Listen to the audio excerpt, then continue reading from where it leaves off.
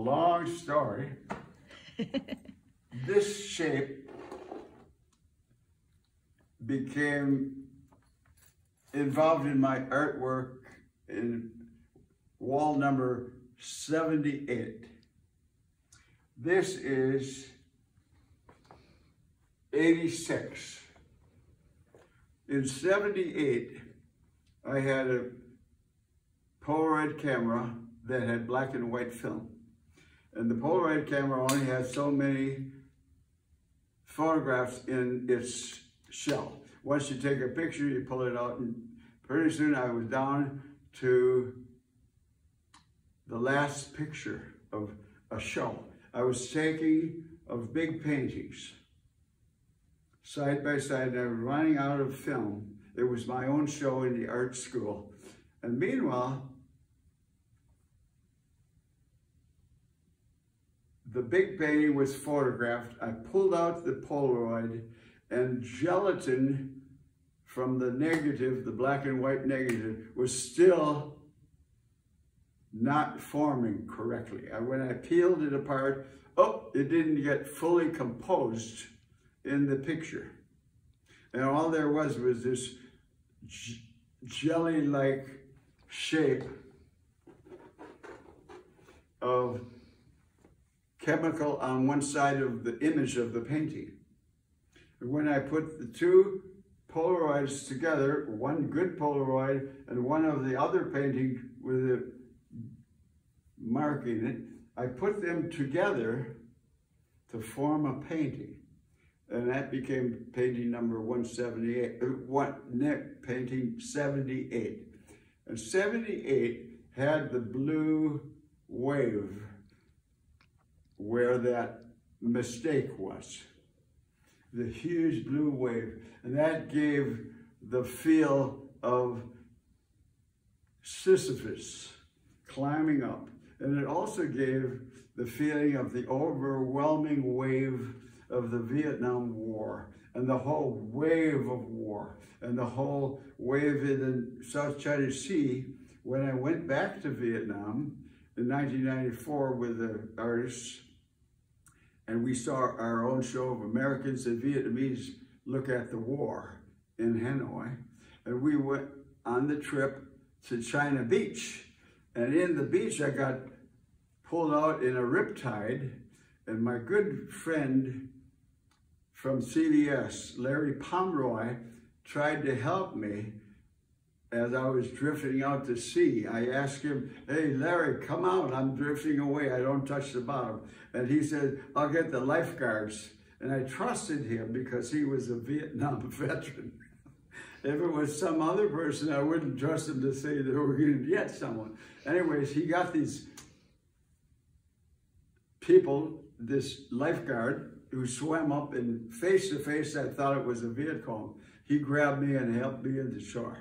Meanwhile, long story short, that wave in the South China Sea, the wave of the overwhelming Vietnam forces, the wave, the hill of Sisyphus climbing, and that all became incorporated in 178. By the time I came to this painting and working with it as a calculation, the wave was still in the previous work.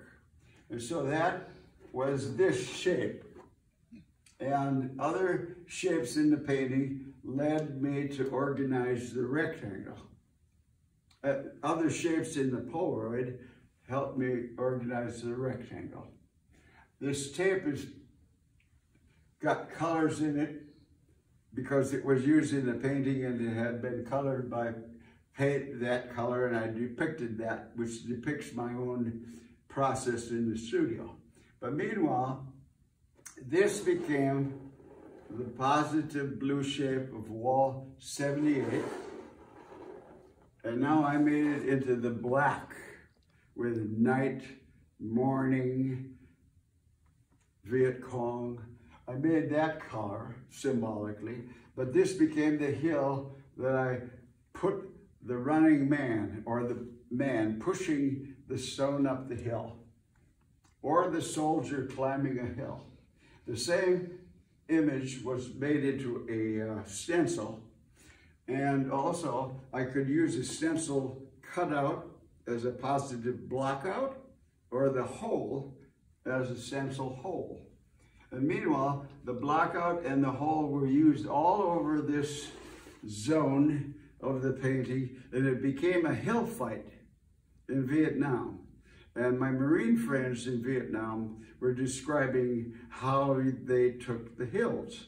And one of the friends was a guy named Ned Broderick, who was in Life magazine with Larry Burrows' photograph of that huge Life magazine double spread out. And Ned Broderick's in there with his back against the wall when these people are in a resting area during a battle, a big battle in Ia Drang. And meanwhile, the Marines had some, it might not have been Ia Drang, but anyways, the point is that this attitude for a hill fight and the confusion and who got the hill is the first guy on top of the hill. And if someone was there before, if you could scare them off, kill him, scare him off somehow, get rid of him, then you've got the hill. And it was a very interesting concept of mine that was developed during the time of making this painting. And so here's the battle for the hill. And it's still like a motion of indecision, who's ever alive to make one that doesn't get killed doing one. It's all in there. The whole, the whole chaos of Vietnam is in this painting. And so I, the jungle. Here's some death head in here.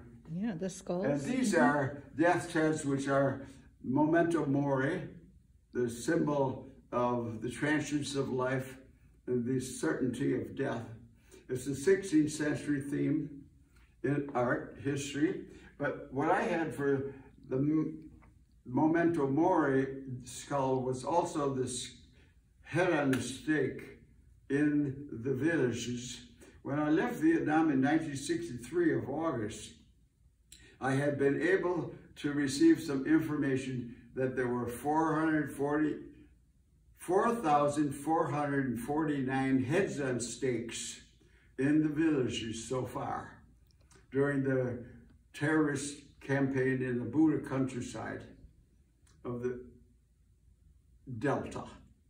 And meanwhile, the head on the stake was a village chief. The visitation in the morning, two o'clock in the morning, would be asking for his toughest young adult, uh, boys to get recruited. They were asking for doors to sleep on. They were asking for rice. They were asking for tax.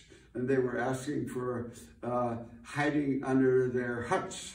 And if the village chief did not comply, off would come the head, and on a bamboo spike at the well of the village, in the morning, all the women would come to get water and their chief head, chief's head would be on stake. And that was the method of terrorism I knew about and was briefed about before we went to Vietnam. Some very interesting briefings from Washington, D.C. about what was going on. Meanwhile, the head on the stake is a symbol in my art all the time. And here it is too. Here's the stake, here's the head. But these are in the painting too. So everything about Vietnam is in here. And the overwhelming and the, the chaos and the Sisyphus, the, the never getting it done. Once the stones roll up the hill, it comes back down for eternity. It's the same symbol also for painting, which I have adapted is the act of painting is like the myth of Sisyphus, that you get it up to the top and then it comes down. You start it all over again. It's never ended. That's why this whole show is just a form, my form, you know, of the existence. And when I'm dead, that's all there's left, the form. Form is very meaningful and it comes from everything that under you from your heritage or whatever, and your acquaintances and your concepts of life. So it's all in the painting.